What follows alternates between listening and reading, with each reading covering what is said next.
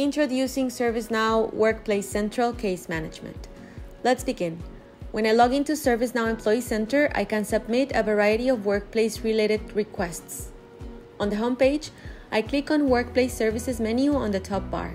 Then, browse all to view all available workplace service options. To report an issue, I select Submit a General Request. I will enter the issue I'm facing. In this case, a ceiling light in one of the meeting rooms is not working. Next, I provide further details starting with the location. I click on the location dropdown and select 488 Wellington Street. I then need to specify the floor where the issue is occurred. I select lower floor. Next, I indicate the type of space. Since this is a room, I select room. I now select the name of the space where the ceiling light is blown. I choose Tomahawk. I skip the request help for an item section because it doesn't apply to this request. In the additional details section, I briefly describe the issue.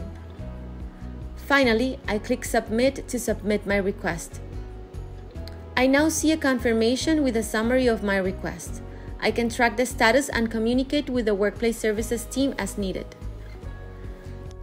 To confirm the request was received, the team logged into the Workplace Services dashboard where they can manage and address the report issue. They can scroll down to All Active Cases section and locate the newly created request. The team can review the case details, including the location and issue reported. The request is currently in a default state of ready. The team assigned it to themselves and change the state to work in progress. The team updates the request with a comment Technician is on his way. Once the technician arrives and replaces the blow light, the team adds another update. Ceiling pot light has been replaced. Finally, the team marks the case as resolved by changing the state to close complete. I'm notified that the issue has been resolved.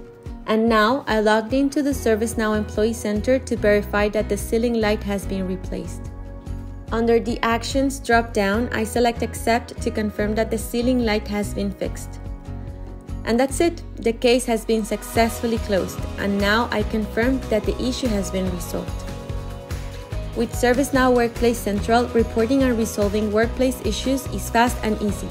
From submitting a request to tracking its progress, everything happens in real time ensuring quick and efficient resolutions.